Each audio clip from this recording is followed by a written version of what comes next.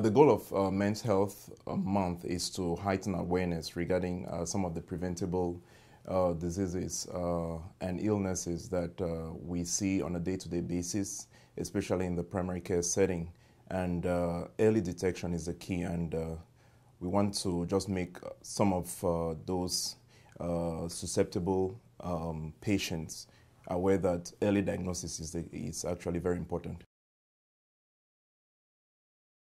Uh, the first uh, thing is one of the key points we see is the access accessibility to um, to health, uh, because one of the um, issues that we see is um, some of the patients uh, they take they go for so long without seeing doctors, and uh, by the time they show up, some of the preventable illnesses have already reached um, what we call target organ.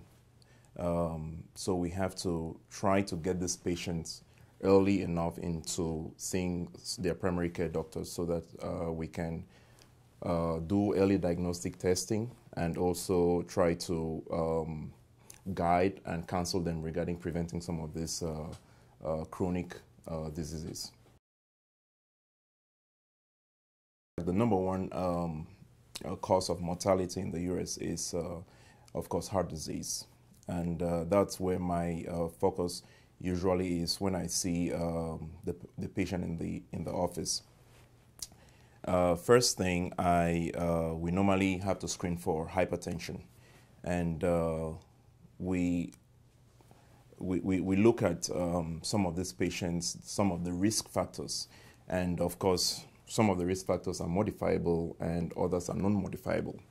Of course, age um, is one of them. As the old the older you get, some of those um, uh, the patients they become more sedentary in uh, uh, in their lifestyle. So physical activity is one of the things that we kind of encourage for these patients. Uh, second is of course type uh, diabetes and the type 2 diabetes which is almost like considered the adult uh, onset diabetes but with the increased incidence of obesity uh, we tend to see more and more of uh, our patients, uh, more and more of the uh, incidents um, affecting the younger population. I talked of heart disease being one of the chronic, um, the number one um, uh, cause of mortality. Uh, the second is, of course, cancer in the U.S. So um, cancer cutting across all the different types of cancer, but lung cancer is, is the number one cause. So uh, smoking, of course, goes uh, in line with that. So we always have to screen for uh, smoking and try to counsel our patients regarding smoking cessation. Um, again, uh, some of the things that we have to always uh, screen for. Um, early, detect early detection also um, includes things like colorectal cancer. Um, and some of these patients, by the time they present, um, they already past 50, which is actually the recommended um, age to start screening some of these patients.